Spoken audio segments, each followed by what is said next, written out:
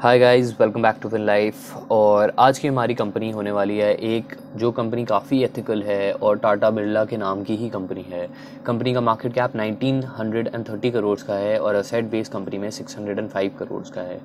Company majorly personal care items में deal करती है और 1963 में कंपनी स्टार्ट हुई थी और तब से कंपनी की ग्रोथ रेट फिनोमिनल रही है। कंपनी की बात करें तो कंपनी मेजरली, आपने सुना होगा, कंपनी के जो प्रोडक्ट्स हैं, जो ब्रांड्स हैं, वो Bajaj almond drops Bajaj almond drops cool और बजाज आमला और ये सारे प्रोडक्ट्स कंपनी के हैं। हाँ जी, हम बात करने वाले हैं बजाज कंज्यूमर केयर लिमिटेड की। तो ये कंपनी काफ़ी सही है और काफ़ी अच्छे से ग्रोथ कर रही है। कंपनी का एक और प्रोडक्ट है नो मार्क्स के नाम से। आपने काफ़ी सुना होगा पॉपुलर होएगी।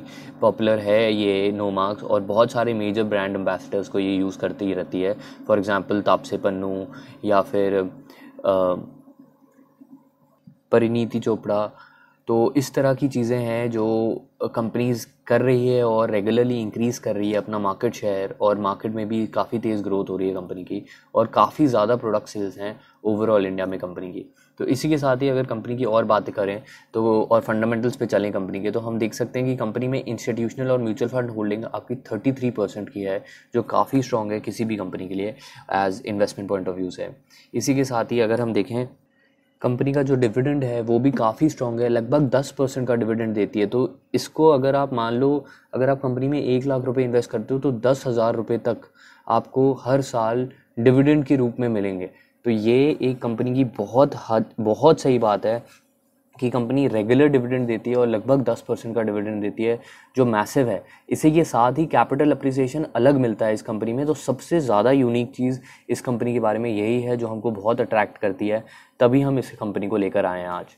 तो यूजुअली क्या होता है, बहुत सारे लोग ये देखते हैं कि ऐसी कंपनीज़ में इन्वेस्ट करें जो डिविडेंड देती है। तो बजाज कंज्यूमर केयर एक कंपनी है जो हमको लगता है एथिकली बहुत स्ट्रांग है ग्रोथ काफ़ी अच्छी है कंपनी की और डिविडेंड आपको बहुत बढ़िया देती है। इस साल अगर देखें तो कंपनी ने बुक अपनी फेस वैल्यू पर, एक रुपये की इनकी फेस वैल्यू है, उसके ऊपर चौदह परसेंट का डिविडेंड कंपनी ने अनाउंस करा था, जो काफ़ी मैसिव है और उस हिसाब से आपको लगभग स्टॉक का रेट चल रहा है एक सौ के आसपास। और एक एक सौ तीस के हिसाब से अगर देखें एक सौ तीस एक सौ चालीस रुपये के आसपास चल रहा है और चौदह सौ रुपये का डिविडेंड आपकी फेस वैल्यू पे मतलब कि चौदह रुपये का डिविडेंड जो काफ़ी ज़्यादा बड़ा डिविडेंड है आ, देने के लिए। तो कंपनी यूजुअली पैसा अपने पास होल्ड नहीं करके रखती है। सेल्स ग्रो कर रही है प्रॉफिटेबिलिटी ग्रो कर रही है लेकिन डिविडेंड बहुत स्ट्रॉन्ग देती है। तो सेल्स फिगर की बात करें तो 2015 से 2019 में कंपनी ने अपनी सेल्स इंक्रीज़ करी हैं और 852 करोड़ 23 करोड़ की सेल्स थी, जो इंक्रीज करके कंपनी ने 890 करोड़ की सेल्स कर ली। 2014 में 670 की सेल्स थी 670 करोड़ की। वहाँ से कंपनी ने 2015 में काफ़ी मैसिव जंप लिया था, लगभग 150 करोड़ का। या फिर आप बोलें तो 25 परसेंट सेल्स कंपनी की इंक्रीज़ कर गई थी 2014 से 15 में, और काफ़ी बढ़िया था वो। कंपनी की सेल्स ग्रोथ बहुत ज़्यादा स्ट्रांग नहीं है, लेकिन सेल्स आपकी तब भी ग्रो कर रही है कंपनी की। और इसी के साथ ही अर्निंग पर शेयर की बात करें और प्रॉफिटेबिलिटी की बात करें तो वो भी ग्रो करी है, और अब 2019 में कंपनी की प्रॉफिटेबिलिटी आई थी 221 करोड़ की, और कंपनी का जो प्रॉफिटेबिलिटी का ग्रोथ रेट है वो लगभग 6.44 परसेंट का है ईयर ऑन ईयर पिछले पाँच सालों में। कंपनी की ग्रोथ रेट अच्छी रही है और कंपनी की जो हम एक्सपेक्ट करें 2019 में से आगे 2024 तक अगर कंपनी साढ़े छः परसेंट पर ही लगभग ग्रो करती रही तो हम एक्सपेक्ट करते हैं कि 2024 में लगभग स्टॉक का रेट जो है वो जो स्टॉक का अर्निंग पर कंपनी का अर्निंग पर शेयर है वो 20.52 हो जाएगा। इसी के साथ ही अगर हम देखें कि ट्रेड रिसीवेबल्स कंपनी के बहुत कम हैं, बहुत ज़्यादा नहीं है।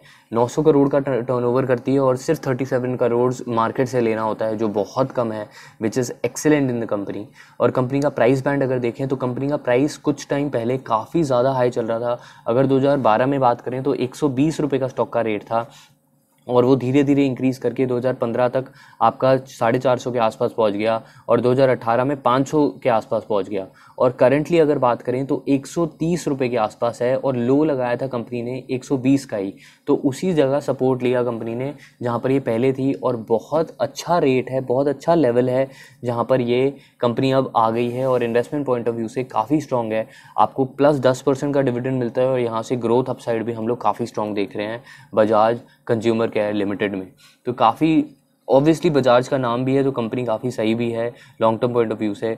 और जो एथिकल पैरामीटर्स है, वो भी सही है तो आप एक्सपेक्ट नहीं करोगे कि ये कंपनी कोई फ्रॉड करेगी आपके साथ, या फिर एकदम से इसका स्टॉक का रेट बहुत बुरी तरह गिर जाएगा, ऐसा नहीं एक्सपेक्ट कर सकते। तो बजाज कंज्यूमर केयर एक रेगुलर इनकम के लिए बहुत अच्छी इन्वेस्टमेंट अपॉर्चुनिटी बन सकती है। आगे का प्राइस देखते हैं कि कैपिटल अप्रिसिएशन क्या हो सकता है, कि दो हज़ार चौबीस में हम लोग क्या एक्सपेक्ट करते हैं कि अगले पाँच सालों में क्या रिटर्न आपको मिनिमम मिल सकता है? तो हम लोग की एक्सपेक्टेशन ये है कि पी बैंड जो है कंपनी का, वो काफ़ी सॉलिड है और लगभग 21.5 से लेकर 37.67 के बीच में चलता है। तो इस हिसाब से आप एक्सपेक्ट कर कर सकते हो कि आपको लगभग अगले आने वाले पाँच सालों में जो इसका स्टॉक का रेट हो जाएगा, वो लगभग four hundred and forty one तो आप एक्सपेक्ट कर सकते हो ऑन द मिनिमम साइड अगले पाँच सालों में। और ये जल्दी भी हो सकता है क्योंकि मेजर रीज़न ये है कंपनी का कंपनी का रेट जो है वो स्टॉक का three one hundred and thirty one का है। हमने एक साल पहले जब वीडियो बनाई थी कंपनी की, उस समय three hundred and forty four का रेट था और कंपनी का रेट तब से काफ़ी नीचे आ गया है और ये बहुत लुक्रेटिव और अच्छी इन्वेस्टमेंट अपॉर्चुनिटी बनाती है बजाज कंज्यूमर केयर लिमिटेड में। कंपनी में मैनेजिंग डायरेक्टर सुमित मल्होत्रा हैं और चेयरमैन कंपनी के हैं कुशार्ग नारायण बजाज तो कंपनी का नियरेस्ट सपोर्ट बहुत strong support one hundred and twenty rupees पे है और रेजिस्टेंस देखें, पहली रेजिस्टेंस 170 के आसपास आती है। इन्वेस्टमेंट अपॉर्चुनिटी के लिए मेरे को कंपनी बहुत सॉलिड लगती है। आपको बिल्कुल इस कंपनी में इन्वेस्ट करना चाहिए। एक regular income point of view से भी ये कंपनी कंटिन्यूसली इसने इनकम दी है और कंटिन्यूसली कंपनी ने आपको डिविडेंड्स दिए हैं। ऐसा नहीं है कि एक ही साल दिए हैं। Back to back company dividend दे रही है और इतना ही देती है हज़ार परसेंट का अपने फेस वैल्यू पर। मतलब चौदह रुपये का 2019 में कंपनी ने चौदह रुपये का डिविडेंड दिया था। 2000 अठारह में कंपनी ने बारह रुपये का डिविडेंड दिया था 2017 में साढ़े ग्यारह का दिया था 2016 में साढ़े ग्यारह का दिया था पर शेयर का डिविडेंड की बात कर रहा हूँ मैं ये।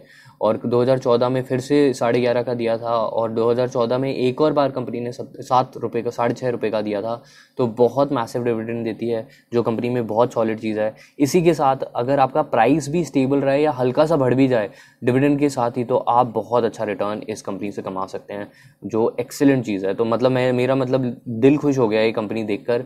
मैंने रियलाइज़ नहीं करा था कि बजाज कंज्यूमर केयर में इतना है। पिछली बार भी जब वीडियो बनाई थी तब शायद ध्यान नहीं दिया इतना। लेकिन आ, मतलब बताया तो ऑब्वियसली मैंने कस्टमर्स को होएगा ही अपने व्यूअर्स को होएगा। लेकिन मैं खुद इतना रियलाइज़ नहीं कर पाया कि भाई इतना बढ़िया डिविडेंड कंपनी दे रही है कि बिल्कुल इन्वेस्टमेंट अपॉर्चुनिटी बहुत अच्छी है। और पर्टिकुलरली मैं इसको अपने पोर्टफोलियो में डेफिनेटली ऐड करने वाला हूँ। एक सौ तीस का रेट है। मंडे को मार्केट खुलते ही मैं इस शेयर को ख़रीदूँगा। जिससे कि एक इस इन्वेस्टमेंट हो जाए और आगे जब भी इसका डिविडेंड आएगा तो मैं उसका फ़ायदा उठा सकूँ प्लस कैपिटल अप्रिसिएशन भी मैं इसमें अच्छा खासा एक्सपेक्ट कर रहा हूँ। ऑडिटर्स भी बढ़िया हैं इनके सिद्धार्थ एंड जैन कंपनी है तो वो भी कोई पॉइंट ऑफ़ व्यू से कोई टेंशन लेने वाली बात नहीं है। रिटर्न ऑन नेटवर्थ और कैपिटल एम्प्लॉयड बहुत अच्छी है इसकी। Operating investing financing cash flows अगर देखें, वो भी बहुत सॉलिड है। तो कंपनी के लिए कोई डाउन नहीं दिखती है, मेरे को अपसाइड बहुत अच्छी है। और इन्वेस्टमेंट अपॉर्चुनिटी बहुत अच्छी है।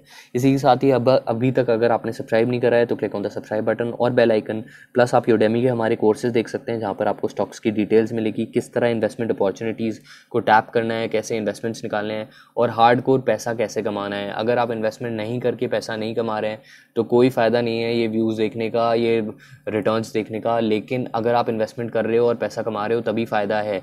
क्योंकि जो भी आप टाइम दे रहे हो ये वीडियो देखने में रिटर्न निकालो पैसे कमाओ, उससे तभी फ़ायदा है। आप कुछ शेयर दस शेयर भी खरीद के स्टार्ट करो। अगर अभी तक आपको बूस्ट नहीं मिला है स्टार्ट करने का तो ये यूडेमी का कोर्स देखिए, आपको वहाँ डिटेल्स मिलेंगी। किस तरह स्टार्ट करना है, कैसे वो बूस्ट लेना है और किस तरह आपको आगे बढ़ना है। कोई भी डाउट्स हैं, आप कमेंट बॉक्स में मैंशन करिए। मैं सॉल्व करूँगा आपके कमेंट बॉक्स में सारे वो डाउट्स प्लस आप हमारा टेलीग्राम का ग्रुप ज्वाइन कर सकते हैं। वहाँ पर भी आपको सारी डिटेल्स मिलेंगी। वहाँ पर आप कोई मैसेज करेंगे तो मैं रिप्लाई करूँगा। प्लस हमारी वहाँ पर और भी एक्सपर्ट्स जुड़े हुए हैं, जो मेरे साथ एसोसिएटेड हैं जो हेल्प करेंगे आपको अच्छे इन्वेस्टमेंट डिसीज़न लेने में। So that's about it for this video signing off from Siddhant Goyal from fin live